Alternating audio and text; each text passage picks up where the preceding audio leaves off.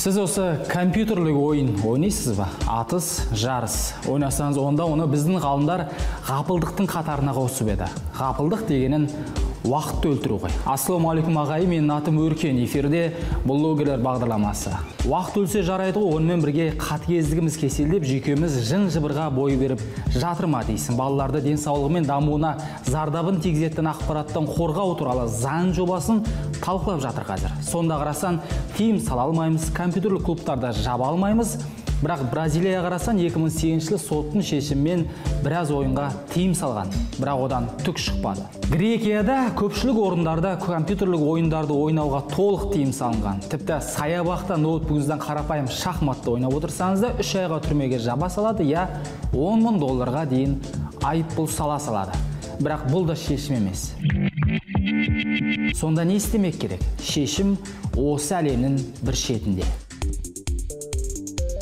Бұл тұста бізге германияның тәжірибесі жақын. Бұл елде өте қатал іс әрекеттерді көрсетеді деген 39 компьютерлік ойынға ресми түрде сатылуына тыйым салынған. Осы тізімді қарап шықтым. Бізде солардың дені еркін сатылымда. Мысалы hitman max payne mortal kombat postal painkiller. Сонымен қатар германияда 23 компьютерлік ойынды ойнауға болады бірақ толықтай стерилизациядан өткізген. Стерилизация дегенін бұл ойындарда қан деген атымен жоқ немесе жасыл түске алмастырған. Фаталити көріністерін кесіп тастаған адам өлтіру тәсілдерін көрсетпейді. Стерилизацияға тіпті cry біз мысал еткен grand theft auto half life секілді атақты ойындарда ұшыраған. Қысқасы егер ерік жігеріміз табылса бұл техникалық жағынан түк те қиындық туғызбайтын шара.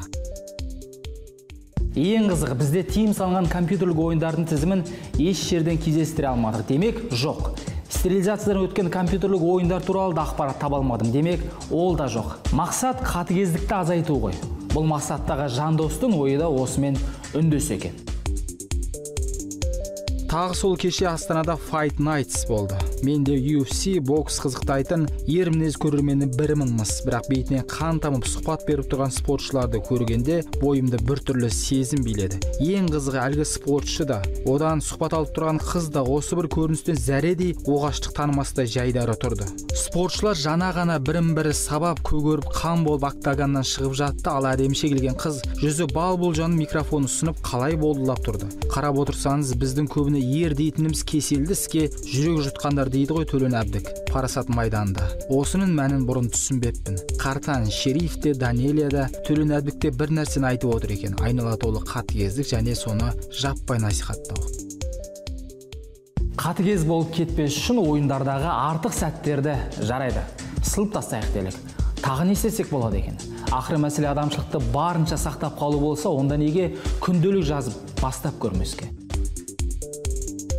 Бүгін күнделігімнің сарғайған сары беттерін қайта ашып шанын сүрттім. Ежіктеп әріптер құрадым. Қаламым оймен ойды сөзбен сөзді жалғай алмай кібіртіктеп кідіре берді. Қағазға түспеген қаламға ілінбеген қаншама күндерім мен түндерім айларым мен жылдарым артқа мойын бұрғызбайтын бұйра белдерде ешқандай ескерткіш таңбасыз тұрлаусыз тірліктің татымсыз уақыт бөлшегі ғана болып қала берді десеңізші. Осыны бар жан дүниеммен түсінгенде талай естелікті ысырап қылған ыждағатсыздығыма күйіндім. Әр күніміздің әр сәті әр сағаты ерекше маңызды. Ерекше тәтті екенін бағалай білуіміз үшін керек екен ғой бұл күнделік қалай дегенмен күнделік жүргізу әлеуметтік желіде таң азаннан қара кешке дейін жатып алғаннан артық екені анық. Бірақ әлеуметтік желінің ауруы да сол дофамин деген гормонды бөлдіруінде емес пе? Міне қараңыз.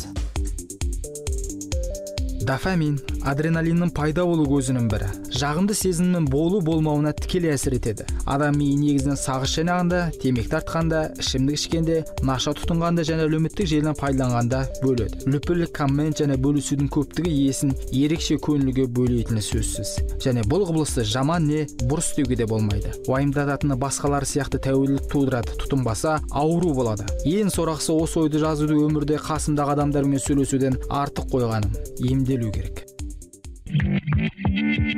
Болды.